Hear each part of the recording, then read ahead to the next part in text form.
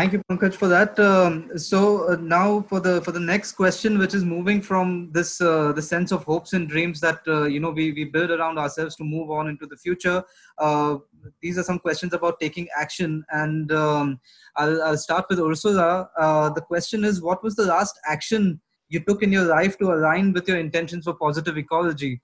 Um, so it's it's just asking that uh, you know we all, um, a lot of us think about a lot of things to do but what was exactly that last action that you took where you know you made this big change in your own life in your own lifestyle um, that would that would uh, essentially lead to something positive? Yeah i think it came a bit as a surprise to myself perhaps but um, i have been thinking and working in the last years a lot on on how on on changing our relationship to earth right? I mean we need to change our way of thinking about earth. And so far i've done a lot of video works that document and involve themselves in this in this topic by creating maybe also introducing ecological structures within the videos and so on. So exper- to be experimental was really important, but it always remained on a level of image making, of representation of sorts.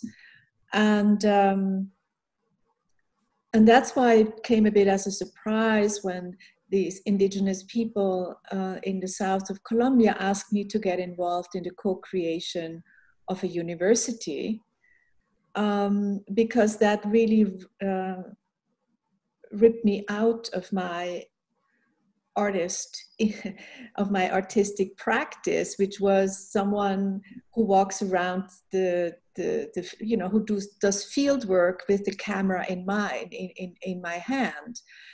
And um, so now uh, suddenly i'm involved in the building of something concrete that actually might change the, the lives of a lot of young people in that, in that region by creating a university, by creating a self made uh, structure of how to um, think, how to produce knowledge, and how to educate the next generation. So I think this will have a lasting effect, not only on, on those particular uh, on, the, on, on that particular indigenous community, but I think it will uh, um, reverberate in the whole region. And uh, I think that's uh, that's an amazing experience, no?